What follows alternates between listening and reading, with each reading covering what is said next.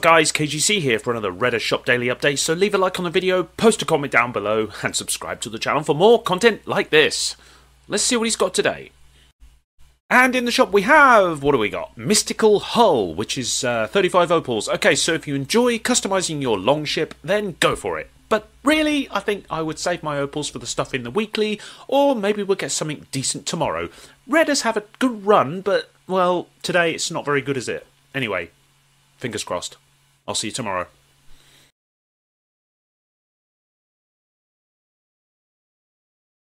And so in Reda's shop today we have, sorry guys, another tattoo. It's the Niflheim head tattoo this time for 35 opals. So if you enjoy inking yourself up and going to the tattooist, well, this week is for you. I mean, there are some decent things in the weeklies, but the daily so far is looking pretty sad.